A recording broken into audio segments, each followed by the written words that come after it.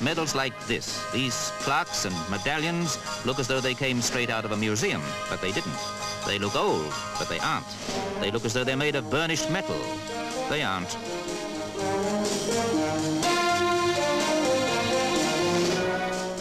In Wimbledon, sculptor Jack Whall makes plaques and medallions by the dozen, first sculpting and molding them, and then making plastic stamps of them. But it's a complicated process. On prototype apparatus he's rigged up himself. The cost of the apparatus?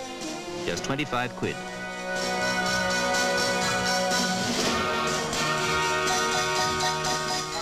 You start by heating the plastic sheet to make it flexible, and then all sorts of air compressors, valves and suction pumps pull the plastic into place. Stand by for a happening.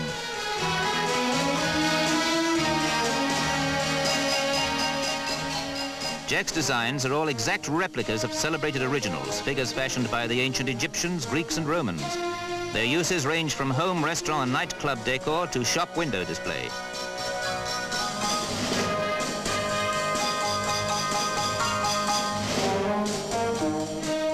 And here comes the craftiness. He paints it all black over its first luster as the first step in his antiquing routine.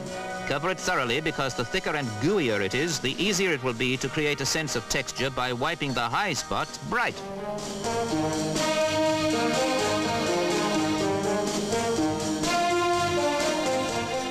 He certainly molded himself a novel career. How's this for fancy dress?